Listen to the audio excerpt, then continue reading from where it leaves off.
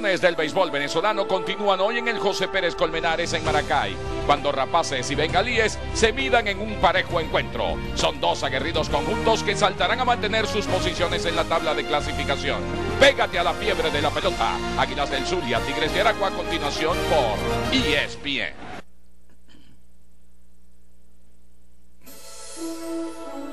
Bien, estamos de vuelta ya con uh, Carlos Hernández, el zurdo de California, que estará lanzando hoy por el equipo de los Tigres. El primer bateador será Ender Inciarte, seguido de José Pirela, más tarde Freddy Galvis. Dos, tres bateadores en este inning por las Águilas del Sur. Y hablábamos, José Luis, de la habilidad. Y aquí está una, hacia la banda contraria, Ender Inciarte. Aprovecha además su velocidad y se va a meter hasta la segunda. Anótenle doble a Inciarte. Un primer bate de lujo en esta liga es Ender Inciarte. Además de la cantidad de boletos que toma, es el líder en bases robadas en esta temporada y tenerlo allí como primero en el line-up es siempre importante. Le siguen José Pirela como bateador designado, Freddy Galvis en el campo corto, Ernesto Mejía en la primera base, luego Henry Rodríguez, Félix Pérez, Juan Apodaca, Freddy Parejo y Ali Castillo hoy jugando en la segunda almohadilla. Un line-up bastante interesante el que eh, tiene el equipo de las Águilas del Zulia y que puede ser muy productivo cuando Enter Inciarte logra estar en circulación. Sobre todo, bueno, cuando aquí de una vez toca, vamos a ver hasta la tercera. Y el, Águila Negra se sacrifica en el mismo primer episodio equipo que viene de perder allá ayer con los tiburones de la Guaira. De los tiburones de la Guaira. Y el equipo Bravos de Margarita, eh, entre tiburones y cardenales, están a juego y medio de las águilas, pero Margarita está a solo medio juego eh, en la quinta plaza. El batazo lo suficientemente lejos en el jardín derecho. La velocidad de Inciarte, el disparo hacia la goma. Y se deslizó y esquivó muy bien a Guillermo Quiroz, Ender Inciarte. Qué hábil, qué bárbaro. Eso es habilidad en el caso de Ender Inciarte. Está jugando un béisbol definitivamente adaptado al nivel en el cual logró llegar este año en eh, los Estados Unidos. Estuvo a punto de quedarse allí en las grandes ligas, eh, y de verdad lo que hemos visto en el torneo se puede resumir en lo que ha sido este primer turno de las Águilas eh, con Ender Inciarte. Y tú ves, José Luis, a este equipo con esa habilidad, con esa velocidad, con su contacto hacia cualquier parte del terreno. Hasta ahora, quizás la incógnita sigue siendo Ernesto Mejía ¿Por qué? Porque Ernesto Mejías apenas está bateando 206, tiene 7 impulsadas y 3 cuadrangulares. Muy pocas carreras impulsadas cuando hay apelación en eh, la tercera, no pasa nada. De, asistencia ha estado en lo que espera. La liga ha estado en aumento en los últimos años. Otra de las cosas importantes que sucedió durante esta semana se comenzaron a transmitir por televisión juegos de la liga paralela, de la liga de desarrollo y eso a nivel de motivación para todos estos jóvenes es importante. Así que son cosas buenas, noticias buenas que suceden en el béisbol venezolano. Boleto, se acaba la cadena de retirados en nueve. Para Carlos Hernández, en base a José Pirela, el turno será para Freddy Galvis, en elevado de sacrificio y carrera impulsada en el juego de hoy se ha ido desarrollando, eh, ha jugado con las Águilas del Zulia, ha subido a las grandes ligas y un pelotero, bueno, con un estatus distinto. 0 y 2. El batazo sin enemigos entre el jardín izquierdo y el central. La pelota pica. Va al corte del jardinero izquierdo. Están mandando al veloz. José Pirela hasta la goma y llega con la segunda para las Águilas del Zulia. Voló. Así mismo el Águila Negra de primera y hasta la goma. Doble para Freddy Galvis y el juego ahora cinco carreras por dos. Bueno, producción para el equipo de las Águilas, allí combinándose y, era el punto de lo que hablábamos, ¿no? Eh, tener paciencia, sacar el boleto, ir descontando en el juego de pelota poco a poco. Y aquí, bueno, se combinaron dos cosas, ¿no?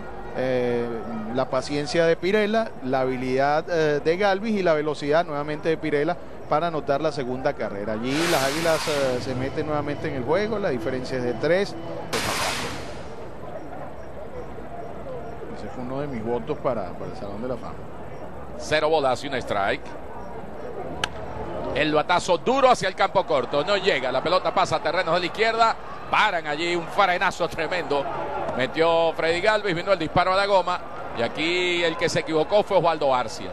Ya estaba parado en tercera y el disparo hasta el home le da una base adicional a Ernesto Mejía. Bueno, qué clase de freno le metió Lipson allí a, Freddy Galvis. Parecía que iba a seguir hacia el plato. Pasa es que el tiro también vino con fuerza desde el outfield. Eh, no quisieron arriesgar, consideró allá Lipson que a lo mejor había la posibilidad de que no anotara en carrera y allí vemos la repetición. Allí venía Freddy Galvis y regresa. Tiró Osvaldo Arcia también, mira, de aire allí al plato. Había jugado en el plato yo. Bueno, y lo importante para las Águilas es que hay dos en posición anotadora y ya la del empate llega al home en el bate de Henry Rodríguez. Y precisa. Problemas ahora para Carlos Hernández. No hay out. Conecta batazo que va a caer indiscutible a terrenos del centro. Anota en carrera Freddy Galvis. Viene el disparo hacia el cuadro. En tercera está Ernesto Mejía. Y ahora son las Águilas las que están aprovechando a Carlos Hernández. El juego cinco carreras por tres. Las del empate ya están en circulación y vendrá Félix Pérez a consumir turno y todo esto ya genera trabajo en el bullpen de los Tigres de Aragua. Eh, el pelotero debe conocer sus, eh, sus habilidades y, de lo que es capaz de hacer en el terreno de juego. Aquí mm, buscar una, una, conexión larga no, no iba a ser tan productiva como lo que acaba de hacer Rodríguez. Poco a poco tú puedes ir descontando las carreras, le dejaron el picheo afuera, se fue hacia la banda contraria, trae una más y quedan corredores en primera y en tercera. Uh, Eric Arnesen. Arnesen, sí. Bueno, ha sido el, ese lanzador para relevo largo que ha utilizado Buddy Bailey. El swingman. Esos lanzadores que van detrás del abridor cuando no pueden completar quizás el trabajo que se espera de cinco innings y hacen el enlace con el bullpen. Abren los corredores en primera y en tercera. Félix Pérez tiene del 4 al 3. Y allí vemos Ernesto Mejía cuando iba, iba hacia la segunda almohadilla con algunos problemas, eh, corriendo hacia la segunda base. Pero ahí está en tercera. En primera corre Henry Rodríguez. El batazo profundo a terrenos del centro. La bola se va, se va, se va, da un salto. Y la bola cruzó la frontera. Ahora apareció fue Félix Pérez y de manera increíble las Águilas del Zulia le dan vuelta al marcador y ahora ganan seis carreras por cinco. Yo decía de callejones, pero le dio un poquito más allá. Eh, en este caso Félix Pérez y las Águilas del Zulia empatan este partido de pelota y es como que si estuviéramos comenzando el episodio porque no hay auto en la pizarra y se conjugó toda la habilidad que puede explotar este equipo zuliano. lo que pasa es que tú sabes que hay detrás de esa barda. Un callejón. Un callejón. Entonces, un bateador de callejón. Gran batazo este para Félix Pérez, 6 a 5. Y se le acabó la paciencia a Bailey. Ya llamó a Arnesen. Eso se veía venir. Una y uno. Ahora que aquí cómo puede cambiar un juego de béisbol. Increíble. Hacia el campo corto, se lanza, la toma bien. Hernández a primera, no había chance. La velocidad de Castillo se impone en esta ocasión. Hay que anotarle infield hit. Esa fue la diferencia. Porque iba a ser una gran jugada en el caso de Luis Hernández. Ahora le corresponde batear a el primero en la ofensiva de las Águilas, Ender Inciarte. Inciarte hoy tiene doble y ponche con una carrera anotada, dos outs.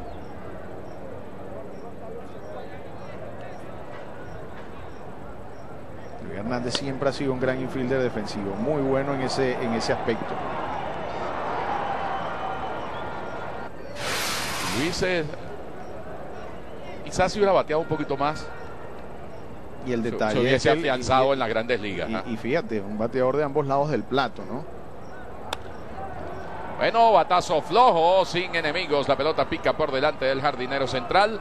Responde Ender Inciarte, conecta de esta manera su segundo indiscutible del encuentro.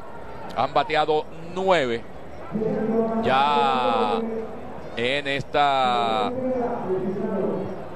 en este episodio y vendrá José Pirela. En el primer capítulo. Vamos a ver si Dorvin consigue el último out de este episodio o si continúa el rally de las Águilas. Línea de gita terrenos a la izquierda. Está jugando profundo. Osvaldo Arcia viene el disparo al cuadro y anota la séptima el equipo de las Águilas del Zulia. Anotó desde la segunda almohadilla. Juan, eh, Ali Castillo, así que el juego se coloca siete carreras por cinco corredores en primera y segunda. Pirela también con su primer hit del encuentro. Ahora tiene una carrera anotada y una impulsada. Se corre el turno hasta Freddy Galvis. Bueno, no han tenido piedad el equipo de las Águilas del Zulia en este episodio, pero es que fíjate también algo, Alfonso, han combinado el talento de cada uno, cada uno ha, ha, eh, cumpliendo su rol, han entendido lo que pueden hacer, eh, batear en diferentes situaciones. Fíjate cómo cambió la situación de José Pirela. Y sobre todo porque ha aprendido a entender su capacidad como bateador, a tocar la pelota para Claro. envasarse, a chocar la pelota hacia el medio del terreno, eh, a no pelear con los envíos. Si te la dejan afuera, hacia afuera tienes que ir. Y hacia la banda contraria responde Ender Inciarte. Tiene doble par de sencillos en cuatro oportunidades. En el séptimo, sin out, está en la inicial y vendrá el Águila Negra, José Pineda. Bueno, qué, qué- qué gran temporada está teniendo, definitivamente eh, Inciarte. Le fabricaron carreras. En las otras cinco presentaciones no le han hecho nada. Y ese es el tema con los lanzadores relevistas. Tienes una mala salida y la efectividad, el promedio de carreras limpias no va a ser eh, Buen comienzo para los Tigres, pero luego el picheo de las Águilas ha manejado las situaciones y del primero hasta el sexto una carrerita nomás. Batazo largo, profundo, la bola se va, se va, se va. Y la bola cruzó la frontera. Freddy Galvis la desaparece por el jardín derecho. Y ahora la diferencia es de tres, Águilas 9, Tigres 6. Bueno, Freddy Galvis hoy en este partido empujó la primera carrera con un elevado de sacrificio para que anotara Inciarte. Luego en el episodio número 4 donde fabricaron las Águilas del Zulia, ese rally de seis anotaciones mantuvo ese episodio vivo. De hecho, conectó un doble que le permitió anotar desde primera a José Pirela y ahora aquí, bueno, una línea sólida por el jardín derecho para ah, irse para la calle. Así que bueno, dio seis en grandes ligas este año Freddy Galvis y, y se ha convertido en un buen bateador. Ya su defensa era una buena defensa, pero tenía que batear un poco más, lo ha conseguido y obviamente esa, esa es eh, la receta que le va a permitir mantenerse allí en grandes ligas. Primero juego de la serie, el último lo ganaron las Águilas.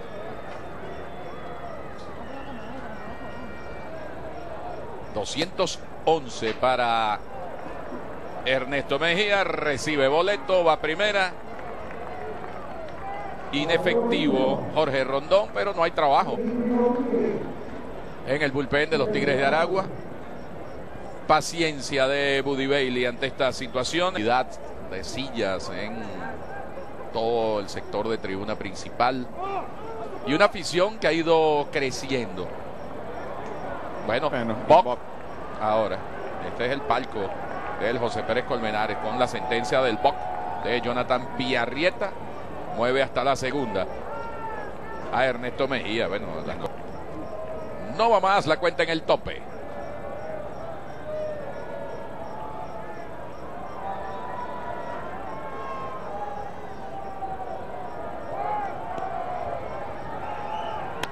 Línea entre dos. Va a ser un rendidor a pesar del buen corte allá de Jorge Cortés. Porque trae una más para las Águilas del Zulia que ahora ganan 10 carreras por 6. Félix Pérez empuja también su carrera número 4 del encuentro. Aprovechando este séptimo inning. Básicamente dos episodios ha necesitado el Zulia para tener este juego por 4. El sexto donde fabricaron 6 y ahora este donde ya van un total de 3 anotaciones. Ha sido contundente Félix Pérez también hoy ofensivamente hablando. Ha estado chocando muy bien la pelota. Bueno, de hecho lo ha estado haciendo desde que comenzó la temporada. por Betcris. Bueno, ya le queda un solo chance a los Tigres de Aragua Un juego que, aunque usted no lo crea, en el primer inning estaba a favor de ellos. Cinco carreras por una. Pero una reacción de las Águilas de seis en el episodio número cuatro fue suficiente para que hasta ahora se lleve la victoria el equipo visitante. Tendremos un nuevo lanzador, allí lo tienen en pantalla. Por eso te dije que el juego de pelota, independientemente de que estuviera la pizarra así, quedaba mucho juego por delante.